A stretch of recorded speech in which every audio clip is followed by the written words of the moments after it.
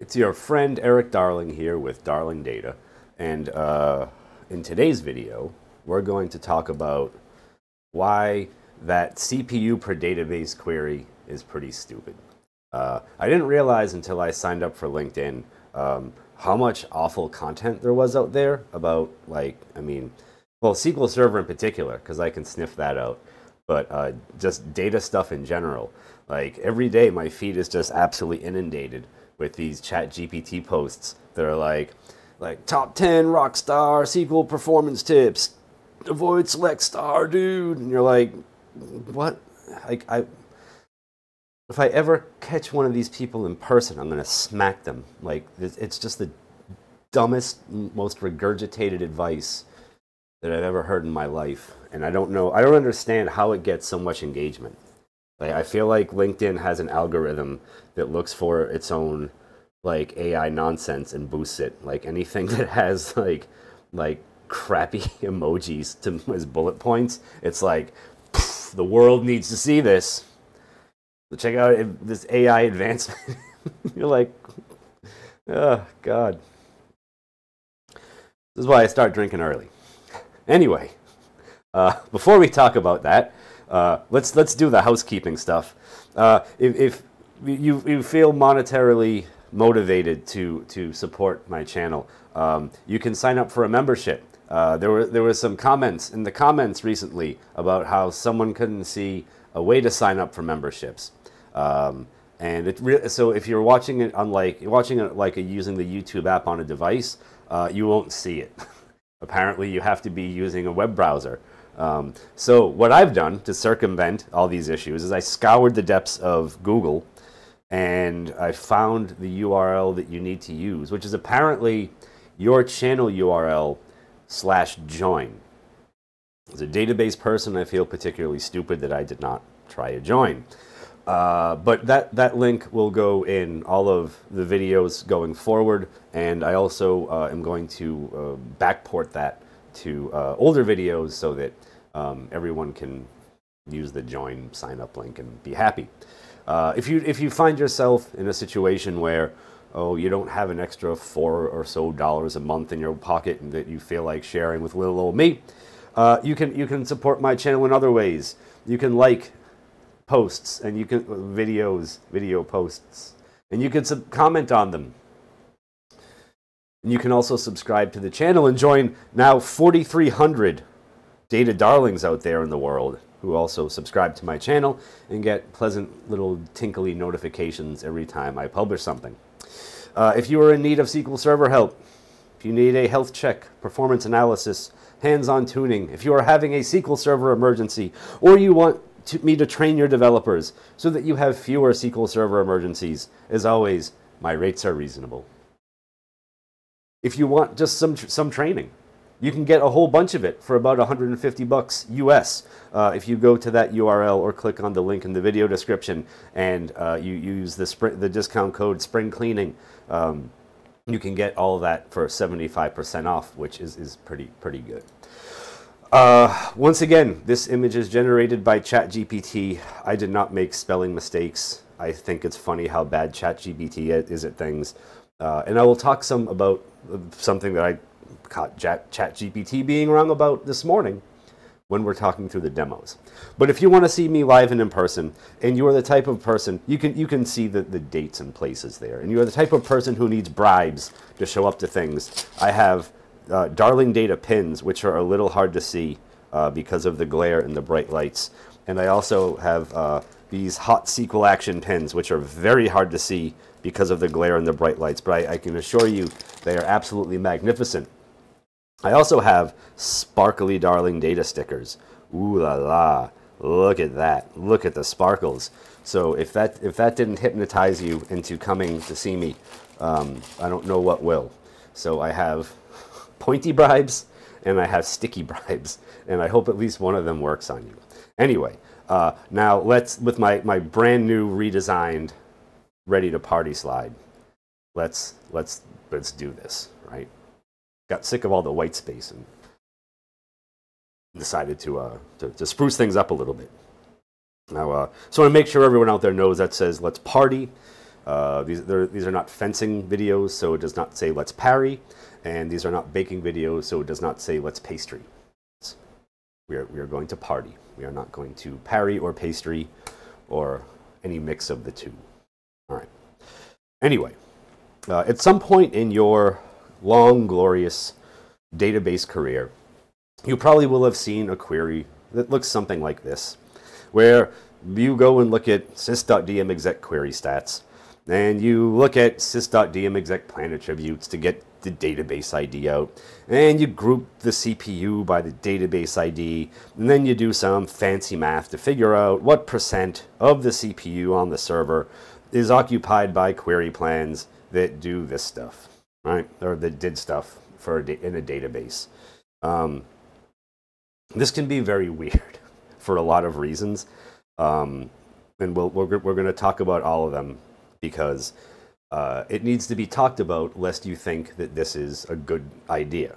Uh, I guess if you if you have nothing if there's nothing else for you to do, you're that bored in your life. I guess this is if you're like the average no lock enjoyer, this might be an okay query for you to run to get a crappy idea of which database uses the most CPU. Um, this can be wrong for a number of reasons. Uh, if anything has disturbed the plan cache, uh, either in total or in part, um, you know, uh, restarts, memory pressure, changing settings, uh, queries with recompile hints, uh, someone running DBCC free proc cache, um, uh, updating statistics and having plans get in, get invalidated, and all sorts of other things. Um, they can really hide stuff. Um, so this really isn't a great query. Uh, actually, another thing that can make work look weird is if queries originate in a different database than the database they're querying. That can also cause some issues. So this is, you know, uh, not a very good query practically for most people to use. If you're on a server and you really have no idea which database uses the most CPU, uh, that, that's a little bit silly. Um, on my server, or rather on my laptop, uh, it's a rather stable place. Um, you know, I, I don't, at least at the moment, because of preparing, I've been preparing for this, I don't have a lot to do on here uh, that would mess things up. But we could add a few things to this query to make it a little bit more useful. I still probably wouldn't use this as like the ultimate arbiter of truth about which database uses the most CPU, but you could at least spruce things up a little bit so that there's some better information in there. Stuff like uh, getting the oldest plan and the newest plan and the total query execution count for each database can get you somewhat better information about what's going on, like on the server as a whole. Or at least give you some contextual information to help you, you know, figure out if this is actually a good piece, bit, bit of information for you. Excuse me. Don't know where that came from. I may have swallowed a fly. Uh, so in, in, for this, we have uh, the total CPU. We have the total query execution count. I don't know that this is necessarily the order I would present this in if I were trying to, you know, uh, make this a pretty report. But it, it's it's pretty okay, for, at least for this video. Uh, and you know, it might help a little bit to figure out. You know, it's like, well, do I have a few really hard-hitting queries, or do I have a lot of queries that just kind of do stuff? Maybe help you figure that out. But then this plan cache aged uh, column up here, that, that'll tell you the difference um, in, well, days, uh, hours, minutes, seconds, and milliseconds uh, between the oldest plan and the newest plan in your cache. If that number is very big, you might have a little bit more confidence than if that number is very small. But there's one thing that can always mess this up, and that is uh, recompile hints or stuff getting removed from the plan cache. So uh, if I run this, I, this should remove one of the plans from the cache for the Stack Overflow Clean database, at least if I did, did my math right. And now the Stack Overflow Clean, which used to be second up here, is now way down here with almost nothing on it. So a plan getting removed from the plan cache can really pull that out.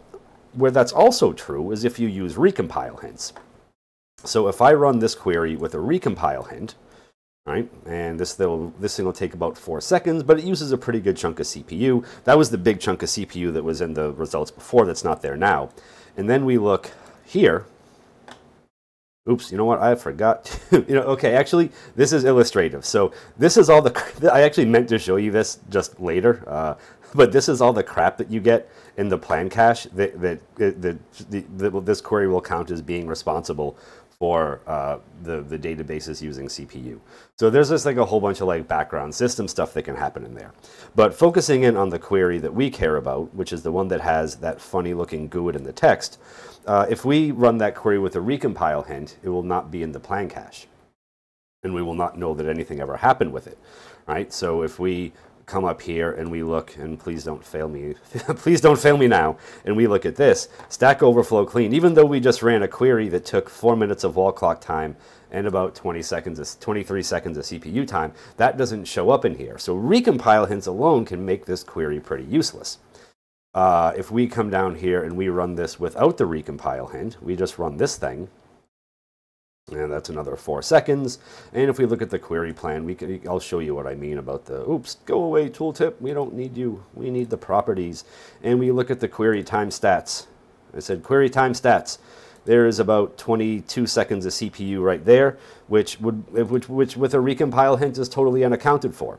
If we come and look at this query now, where we're searching for that funny looking GUID thing in there, now it'll show up and we'll see the execution count, we'll see the worker time.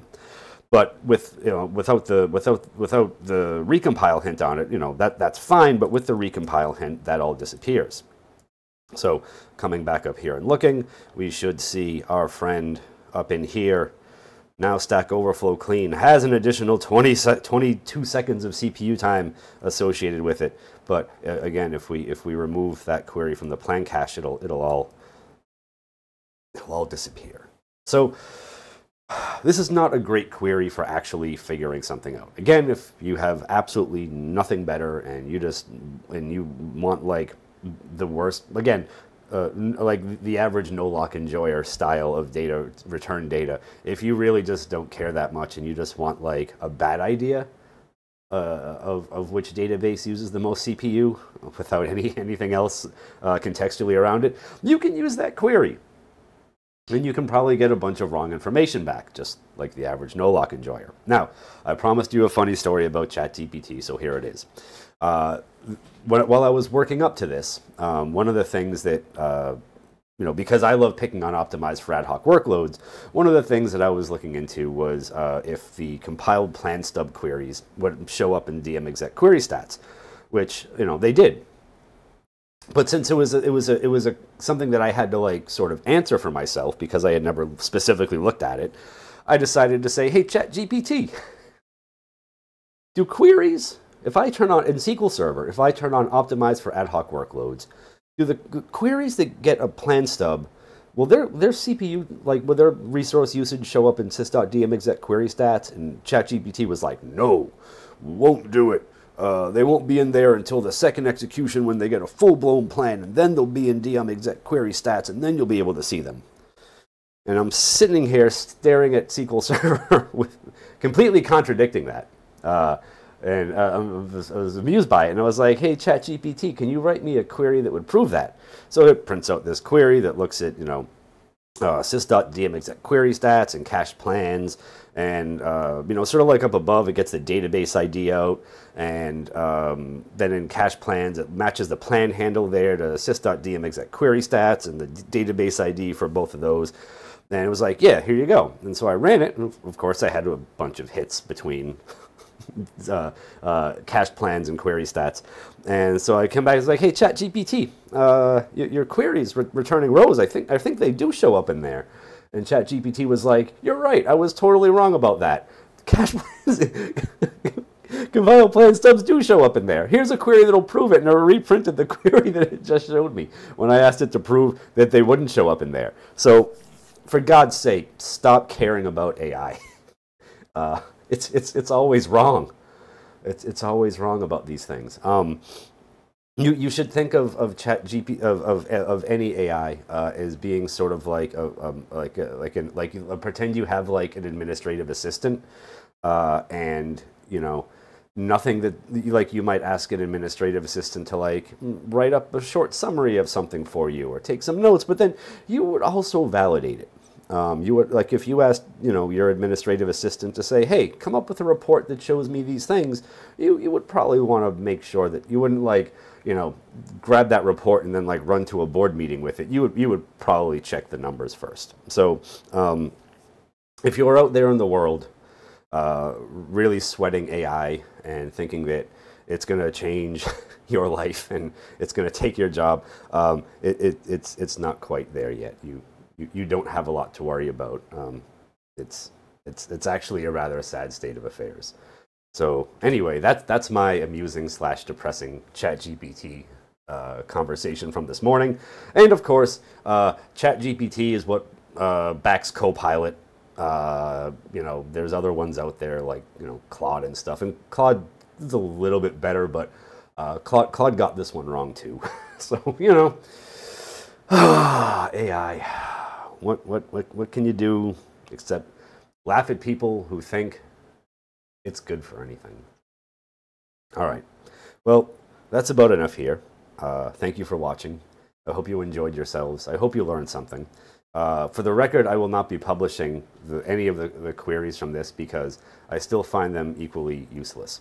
Um, I should actually, before I wrap up, I should give you a, a couple ways that are better at doing this.